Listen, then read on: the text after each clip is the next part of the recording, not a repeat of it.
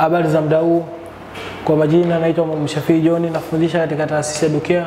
Leo nitakuwa nanyi katika somo la maarifa ya jamii darasa la tano, mada ya uhusiano wa Tanzania na nchi za Ulaya na Asia kabla ya ukoloni. Ulipokuwa darasa nne ulijifunza dhana uhusiano na chimbuko la ukoo. Pia ulijifunza jamii za kale za ujamaa za ujima na ukabila. Katika sura hii utajifunza sababu za uhusiano wa Tanzania na nchi za Ulaya na Asia kabla ya ukoloni. Kabla ya ukoloni, jamii za kale za Tanzania zilijikana katika jamii za pwani ya Afrika Mashariki. Vile vile utajifunza athari za uhusiano katika nyanja za kiuchumi, kisiasa na kijamii. Tuanze na kipengele cha kwanza, sababu za ujio wa watu, kutu, watu kutoka Asia. Katika karne ya, karne ya tisa pwani ya Afrika Mashariki ilitembelewa na watu kutoka bara la Asia. Wengine wengi wageni hawa walikuwa ni wafanyabiashara kutoka India, China na nchi za Kiarabu, hasa Oman na Ghuba ya Uajemi. Ujio wa wageni hao wageni hao kutoka nchi hizo ndizo ulikuwa ni mwanzo wa uhusiano kati ya, kati ya jamii za pwani za pwani ya Afrika Mashariki na zile za bara la Asia. Sababu kuu ya uhusiano huu ilikuwa ni kiuchumi. Wafanyabiashara walifuata, walifuata dhahabu na pembe za ndovu. Biashara ya dhahabu ilifanyika katika mji wa Kilwa. Pembe za ndovu zilipatikana kutoka, kutoka sehemu mbalimbali karibu na pwani. Bidhaa nyingine zilizopatikana sehemu hizo ni nta, watumwa, mpira, ngozi ya chui na mikoko. Wafanyabiashara hao walileta nguo, shanga, vikombe, visu, sabuni na vyombo vya nyumbani. Sasa sababu za watu kutoka Ulaya. Hizi zilikuwa sababu za kibiashara ambazo zilikuwa sababu za watu kutoka Asia. Sababu za pili ni sababu za watu kutoka Ulaya. Jamii za pwani ya Afrika Mashariki zilihusiana na nchi za Ulaya katika biashara mbalimbali. Watu wa, wa kwanza kutoka Ulaya kuja kuja kufanya biashara pwani ya Afrika Mashariki walikuwa Wagiriki na, na Walumi, Walumi enzi za kale. Baada ya hapo walifuatia Wareno. Wareno walifika maeneo ya pwani ya Afrika Mashariki mwaka 1498 wakiongozwa na kiongozi wao Vasco da Gama. Wareno walifika katika mji wa Kilwa mnamo karne ya 16. Baada ya kufika walianza walieneza utawala wao sehemu ya pwani ya Afrika Mashariki. Makao yao makuu yalikuwa Mombasa. Katika mji huo walijenga ngome kubwa iliyoitwayo Ngome ya Yesu au unaweza kusema Fort Jesus. Hichi kigezo namba moja kinaonyesha picha ya Vasco da Gama. Vasco da Gama. Wareno walitaka kumiliki biashara kati ya pwani ya Afrika Mashariki kati ya pwani ya Afrika Mashariki na Asia, hasa biashara ya dhahabu na pembe za ndovu. Himaya ya Wareno katika pwani ya Afrika Mashariki ilidumu hadi mwisho wa karne ya 17. Mwanzoni mwa karne ya 18 Waarabu wa Omani wakisaidiana na Waswahili wa pwani walifanikiwa kuwafukuza Wareno. Lengo la Waarabu wa Omani ilikuwa ni kumiliki biashara kati katikati ya pwani ya Afrika ya Mashariki, Asia na Ulaya. Wareno walikimbilia Msumbiji, kusini mwa mto Ruvuma. Uhusiano wa kibiashara baina ya nchi za Ulaya na pwani ya Afrika Mashariki uliimarika zaidi katika karne ya 19. Kipindi hichi ndicho kipindi hicho nchi za Ulaya zilikuwa zimeingia katika mapinduzi ya viwanda. Kwa hiyo walihitaji malighafi na masoko ya biashara zao. Hali hii ilisababisha ujio wa Wajerumani, Wafaransa na Waingereza. Aidha, mafanikio ya kibiashara kati ya pande hizo mbili yalifanywa kupitia mikataba baina yao ya sultani wa Zanzibari. Sultani huyo aliwapa fursa ya kuendesha biashara katika himaya yake. Sultani alikuwa kiunganishi cha biashara baina ya nchi za Ulaya na watawala wa bara hadi kufikia kusini mwa Tanzania. Sultani wa Zanzibar alikuwa na uhusiano mkubwa wa kibiashara walikuwa na uhusiano mkubwa wa kibiashara sehemu nyingi za, za jamii ya bara. Sehemu hizo ni kama vile sehemu ya kandokando kando ya mto ya mto Pangani hadi mlima Kilimanjaro. Sehemu nyingine ambazo sultani wa Zanzibar alikuwa na uhusiano nazo wa kibiashara ni kama vile Ujiji na Karagwe. Uhusiano kati ya sultani na jamii za bara uliwanufaisha wafanyabiashara wa Ulaya. Wafanyabiashara walitumia miundombinu ile ile iliyotumiwa na wafanyabiashara wa Kiafrika na Kiarabu katika shughuli zao. Kwa hiyo tunaona kwamba huyu sultani ndiyo ambaye alikuwa kiunganisho wa biashara kati ya watu wa Ulaya na watu wa Afrika katika nchi ya Tanzania kwa kipindi hicho kabla ya ukoloni. Tuangalie sasa bidhaa za biashara kati ya jamii za pwani ya Afrika Mashariki, Ulaya na Asia. Wafanyabiashara walileta bidhaa mbalimbali kama vile nguo, bunduki, risasi, vinywaji na vyombo vya nyumbani kama bilauri, sahani, bakuli na vikombe. Vile vile bidhaa za urembo kama vile pete na bangili. Kwa hiyo kielezo chetu hapa namba mbili kinatuonyesha bidhaa ambazo zilikuwa zimeletwa. Mfano bunduki ndio hii hapa, bilauri, bangili, sahani, pete. Kwa hivi ni vielezo Hichi ni kielezo ambacho kinaonyesha bidhaa baadhi ya bidhaa kutoka Ulaya na Asia.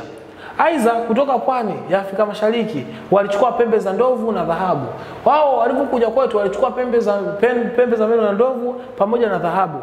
Bidhaa kutoka Wareno zilikuwa na thamani ndogo ukilinganisha na zile kutoka pwani ya Afrika Mashariki. Kwa hiyo bidhaa ambazo zinaletwa na Wareno zilikuwa na thamani ndogo ukilinganisha na zile za Afrika Mashariki, zilikuwa na thamani kubwa kuliko za bidhaa kutoka Ureno. Wafanyabiashara wa Kireno walipata faida kubwa, kwa hiyo makundi ya wafanyabiashara yalivutiwa kuja katika eneo la Afrika Mashariki. Wafanyabiashara kutoka Ureno walipata faida kubwa ambayo iliwafanyia au ilichangia wafanyabiashara wengine kuweza kuja Afrika Mashariki kuja kufanya biashara. Hizi ndio pembe za meno za ngovu za pen, pembe za meno za ndovu na hii ndio dhahabu. Kwa hiyo kielezo namba tatu, baadhi ya bidhaa kutoka jamii za pwani ya Afrika Mashariki. Sasa tuone njia walizopitia wafanyabiashara. Wafanyabiashara kutoka Ulaya na Asia walitumia usafiri wa meli kupitia bahari ya Atlantic na bahari ya Hindi. Kwa hiyo wafanyabiashara walivyotoka kwao Ulaya kuja kwetu waliweza kupitia njia ya bahari ya Hindi na bahari ya Atlantic. Kwa kuwa muda huo walikuwa wanatumia mashua katika usafiri wao au katika usafiri. Njia hii ilifanikisha shughuli zao, zao za kibiashara. Wakiwa pwani ya Afrika Mashariki walitumia njia zilizotumiwa na msafara ya watumwa kufikia bidhaa mbalimbali walizokuwa nazo wanazihitaji na masoko ya bidhaa walizozileta. Hii ili kufanikisha biashara yao walitumia Wahindi na Waarabu. Kwa hiyo tunaona kwamba hao waliweza kutumia Wahindi na Waarabu katika kufanikisha biashara zao. Tunaona hapa ramani na tunaona kielezo namba nne, ramani ya dunia kuonesha njia walizopita Wareno kwenda India. Hizi ndio njia ambazo waliweza kupita Wareno kwenda India. Ndio alisafiri katika hii ambayo unaona kuna rangi nyekundu. Hizi ndio njia ambazo walizitumia Wareno kusafiri kwenda India. Kufikia karne ya kumi na sita, njia za bahari kuelekea maeneo ya Asia Mashariki zilitumiwa kwa ajili ya biashara.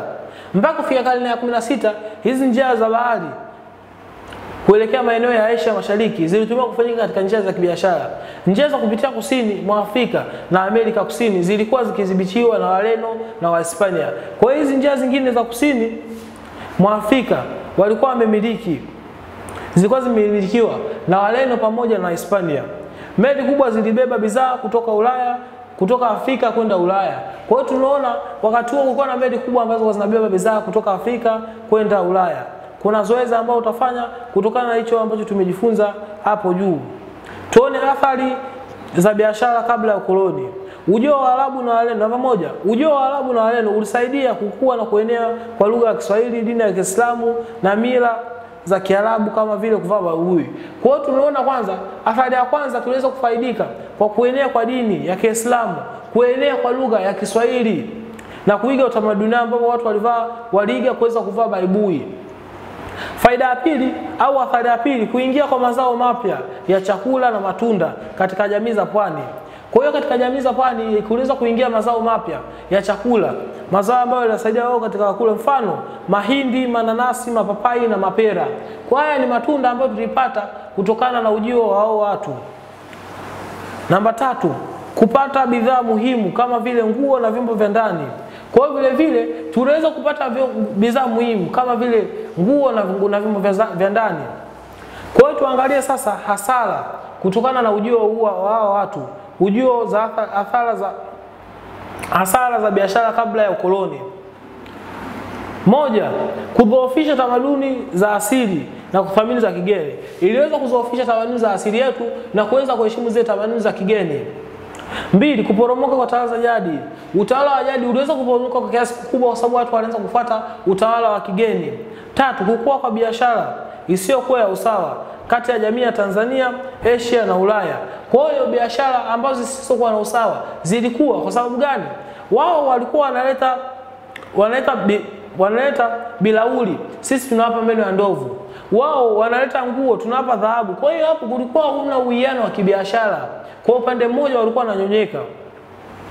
Nne, baadhi ya wafanyabiashara wa kigeni walivamia vijiji na kuwachukua watu kama watumwa. Kwa hiyo tunaona vile vile kwamba faida hasara nyingine tuliyopata ni baadhi ya wafanyabiashara baada ya kuwachukua watu wa kigeni, kuwachukua baadhi ya watu katika vijiji na kuwafanya kama watumwa wa kuweza kuwasafirishia bidhaa zao au kuwatumikia katika shughuli zao. Tano, kupoteza mamilioni ya watu wengi wenye nguvu kutokana na kukamatwa kwa vijana wa kiume wenye nguvu. Kitu kingine tuliweza kupoteza vijana wengi kutokana na nini? Kukamatwa kwa watu vijana wenye nguvu ili waweze kuwatumikia wao. Tuone uhusiano wa kisasa, uhusiano wa kisiasa kabla ya ukoloni. Kabla ya ukoloni, uhusiano kati ya jamii za Ulaya na Asia na, na jamii za pwani ya Afrika Mashariki ulikuwa zaidi kibiashara kuliko kisiasa. Hata hivyo, wafanyabiashara wa Ulaya walilazimika kuingia mikataba na makubaliano ya kisiasa na watawala wa jadi ili kufanya biashara katika maeneo yao ya kwa kigezo cha kulipa kodi au hongo waliokubaliana. Viongozi wa jadi walisinga kutoa ruhusa kwa wafanyabiashara hao kutoka Ulaya na Asia ili waweze kupita na misafara yao katika maeneo hayo. Kwa hiyo tunagundua kwamba waliweza kuweka mikataba na viongozi wa Kiafrika ili waweze kupata fursa ya kuweza kufanya biashara na kupita na mizigo yao au misafara yao katika maeneo yetu. Tuone sasa vitangulizi vya mwanzo vya ukoloni. Katika kufanikisha azma ya wakoloni kuingia Afrika, mataifa ya Ulaya yalitanguliza vitangulizi vya wakoloni Hii ilitumika kama mbinu ya kurahisisha ujio wao. Kitangulizi cha kwanza walikuwa ni wapelelezi. Wapelelezi mbili, kutafuta maeneo yenye ardhi nzuri ya hewa kwa ajili ya makazi ya wazungu. Kwa hiyo wapelelezi walikuja vile vile kuweza kutafuta ardhi ambayo itakuwa na hewa mzuri au itakuwa kwa ajili ya makazi ya wazungu. Tatu, kuchunguza tamaduni za wenyeji na uimara wa tawala za jadi. Kwa hiyo waliweza vile vile kuchunguza uta, kutafuta, kuchunguza utawala wa wenyeji na, na wa jadi. Nne, kuchunguza bidhaa zinazopatikana Afrika Mashariki na zinazohitajika kutoka Ulaya. Vile vile waweza kuchunguza bidhaa ambazo zinazopatikana Afrika Mashariki na zinahitajika kutoka Ulaya. Tano, kutafiti na kujua sehemu zilizokuwa na idadi kubwa ya watu. Vile vile waliweza kutafiti na kujua sehemu ambazo kuna idadi, kubwa ya watu ambao watawatumia katika shughuli zao au kuwasaidia katika uzalishaji wao. Miongoni mwa wapelelezi waliofika Tanganyika walikuwa ni pamoja na Richard Butom, John Hanning Speke, Dr. David Livingstone, Henry Morton Stanley na Joseph Thornpas. Safari ya wapelelezi zilianza Zanzibari ambapo Sultani Said Said alipewa vibali na maelezo muhimu kuhusu sehemu walizokusudia kutembelea. Wapelelezi hawa walitumia njia za misafara ya kibiashara ya watumwa kufikia maeneo maeneo mbalimbali katika nchi yetu. Walipokuwa wakipita, walikutana na watawala mbalimbali. Watawala hao walikuwa Mtemi Milambo wa Unyamwezi, Mangi Orobo na wa Uchaga na Mkame Rumanyika wa Karagwe. Wapelelezi waliandika yote walioyaona na kuyatuma kwao. Kwa tuliona jinsi gani wapelelezi baada ya kuja kwetu waliweza kukusanya taarifa zile muhimu na kuweza kuzituma kwao. Taarifa za kipelelezi zilikuwa na mambo muhimu ya kusaidia nchi za Ulaya kuitawala Afrika ikiwemo Tanganyika. Baadhi ya taarifa hivyo ni kama vile utajiri wa maliasili zilizopo Afrika, ardhi yenye rutuba, hali ya hewa inayofaa kwa makazi ya wazungu, tamaduni na tabia za wenyeji, pamoja na uimara wa tawala zao. Taarifa hizi za wapelelezi zilisaidia mataifa ya Ulaya kufanya uamuzi wa kuvamia na kuchukua maeneo mbalimbali barani Afrika. Tuangalie kipengele cha pili ambao wapelelezi wa vitangulizi cha pili walikuwa ni wamishonari. Wamishonari walianza kuingia Tanganyika mwaka 1844 kupitia Zanzibari baada ya kupata vibali na utambulisho kutoka kwa sultani. Wamishonari waligharamiwa na vyama mbalimbali vya kidini kutoka Ulaya. Kwa mfano, Johann Ludwig Karl Peters, Johann Ludwig Club na Johannes Lieberman waligharamiwa na chama cha Chachi Missionary Society CMC kwenda Zanzibari na baadaye kuelekea bara. Mwaka 1863 mapadre wa Lo wa shirika la Lo mtakatifu walifuatia na kujenga kituo na kujenga kituo Zanzibari na baadaye Bagamoyo mwaka 1968. Wamishonari wa chama cha University Mission Center Africa UMCA walijenga vituo Vituo hivyo walijenga Zanzibari, Magira katika mkoa wa Tanga na Masasi. Wamishonari wa White Fathers walifika mwaka 1870 ambapo walijenga vituo vya Ujiji, Unyamwe, Unyanyembe, Karema na Mwanza. Wamishonari walipiga na kukomesha biashara ya utumwa. Waliamini kwamba biashara ya utumwa ilikuwa kipingamizi kikubwa kwa mabepari, kwa maendeleo ya ubepari wakati huo. Hivyo ilikuwa ni lazima kukomesha biashara hiyo ili wazalishaji mali wabaki nchini mwao wa, wa, wa, walianza kuzalisha mazao yaliyohitajika katika nchi za kibepari. Malengo ya wamishonari yalikuwa kama ifuatavyo: moja, kueneza dini ya Kikristo na kutoa elimu inayohitajika katika ufundishaji, kusoma na kuhesabu, kuandika na kuhesabu. Kwa hiyo tunaona hao mishonari walikuwa chanzo cha kueneza dini ya Kikristo, vile vile kusoma na kuandika na kuhesabu. Mbili, kushawishi wafanyabiashara kutoka Ulaya kuja kufanya biashara Tanganyika. Vile vile waliweza kushawishi wafanyabiashara kutoka Ulaya kuweza kuja kufanya biashara Tanganyika. Tatu, kuanzisha kilimo cha, mazao muhimu. Wao vile vile waliweza kuanzisha kilimo cha mazao muhimu. Tano, kuandaa Waafrika kupokea mfumo wa uchumi wa kibepari. Waliweza kuandaa Afrika ili waweze kujiandaa kupokea mfumo wa uchumi wa kibepari. Tuangalie kitangulizi kingine cha ukoloni ambacho kilikuwa cha tatu na cha mwisho, wafanyabiashara. Nchi za Ujerumani, Ufaransa na Uingereza zilidhamiria kueneza biashara mbadala wa ile ya utumwa ambayo ilikinzana na maendeleo yao ya muda mrefu baada ya mapinduzi ya viwanda. Wafanyabiashara waliingia mikataba mbalimbali ya biashara na sultani wa Zanzibar Said Said. Mikataba hiyo iliwapa nafasi nzuri ya kuendesha biashara katika nchi hii. Miongoni mwa wafanyabiashara maarufu waliofanya biashara na jamii za Kitanzania ni Mwingereza aliyejulikana kwa jina la William McNaughton. Hata hivyo, mfanyabiashara huyu hakufanikiwa sana kibiashara kwa kuwa alikosa ushirikiano kutoka kwa serikali ya wake wa Uingereza. Mfanyabiashara mwingine alikuwa ni Charles Stock kutoka Uingereza. Huyu mfanyabiashara huyu alifanya biashara maeneo ya Unyanyembe. Aidha, Charles Stock alifanikiwa zaidi kibiashara kwa sababu alijiepusha na migogoro na Waarabu. Pia alitengeneza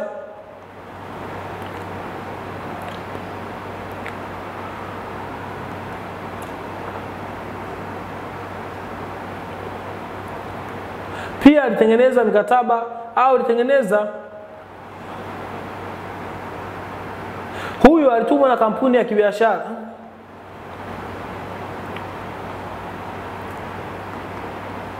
Huyu Charles Stock alifanikiwa zaidi kibiashara kwa sababu alijiepusha na migogoro na Waarabu. Pia alitengeneza urafiki na Wanyamwezi wa Unyamwembe, Unyanyembe. Wafanyabiashara wa Kijerumani walikuja kuanza mwaka 1884. Mjumbe wao wa kwanza aliyetumwa kuja kufanya mikataba na machifu alikuwa ni Karl Peters. Huyu alitumwa na kampuni na, na kampuni yake ya kibiashara itwayo Kampuni ya Ujerumani ya Afrika Mashariki. Miongoni mwa machifu aliofanya nao mikataba ni Chifu Mangungo na wa Msovelo Usagara. Mkataba huo ni mfano wa mikataba ya kilaghai ambao wafanyabiashara walifanya na viongozi wa jamii za Kiafrika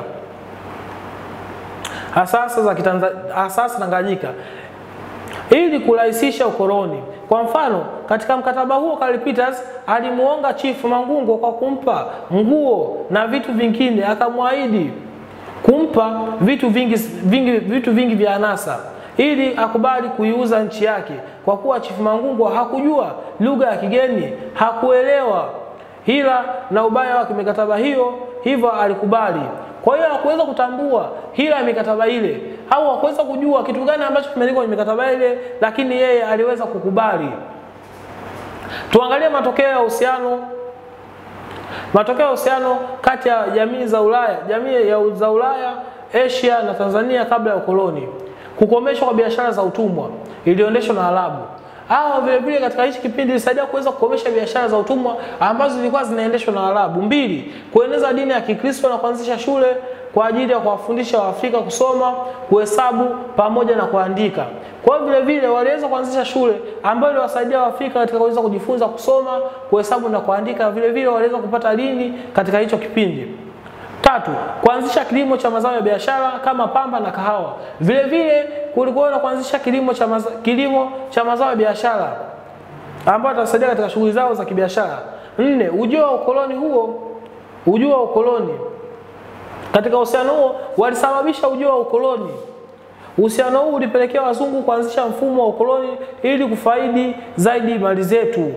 Kwa hiyo tunagundua kwamba hawa ndio ambao walipelekea hivi tanguliza kwa ndio ambao walipelekea kuweza kuja kwa wakoloni na kuweza kufaidi au kunyonya mali zetu. Kwa hiyo mpaka kufika hapo ndio mwisho wa kipindi chetu cha leo, na kuna zoezi ambalo utafanya ili kupima kwamba umeelewa nini kutokana na hichi tulichojifunza. Kwa hiyo hapa ndipo mwisho wa kipindi chetu cha leo. Asanteni kumsikiliza na kumtazama pia.